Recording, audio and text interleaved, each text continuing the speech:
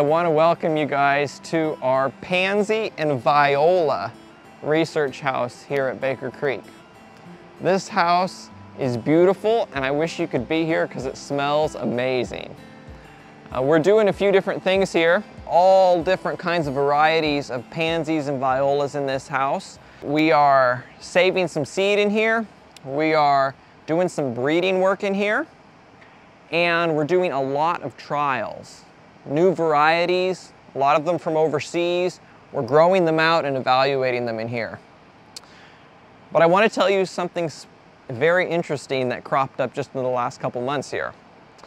This variety that I have right here in front of me, this is a type of viola.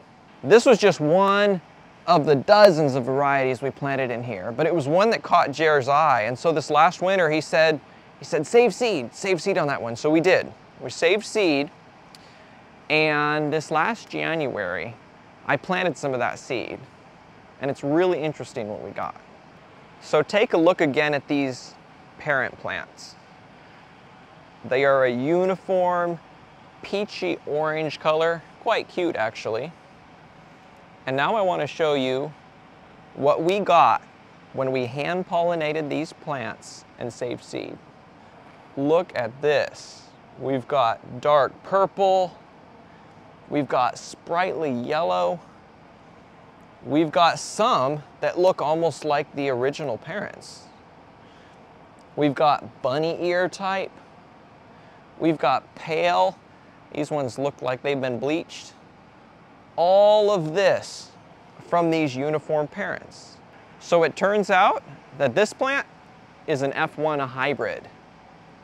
Think back to high school genetics. A hybrid is a plant, or it could be an animal, that has two distinct parents that differ in certain qualities. So maybe the maternal parent here was a sprightly yellow viola, and the paternal parent was a dark blue viola. So these plants are gonna have genetics from a sprightly yellow plant and from a dark blue plant. Now when they have their own offspring, what's gonna happen? Exactly. That explains this mixed bag offspring bunch that we get. Some of the plants revert back to mom, some revert back to dad, and a lot of them just fall somewhere in between. This answers the question about this genetic confusion, as I like to call it.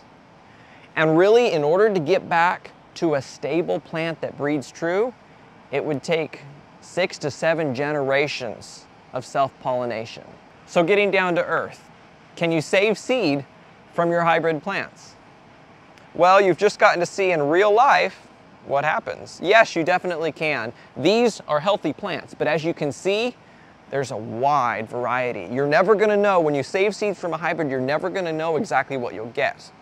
So if you're wanting to grow food or flowers and have a dependable crop every year and have the same crop every year, you need to go with an open pollinated or with an heirloom. These are the types of plants that will reproduce the same plant year after year after year.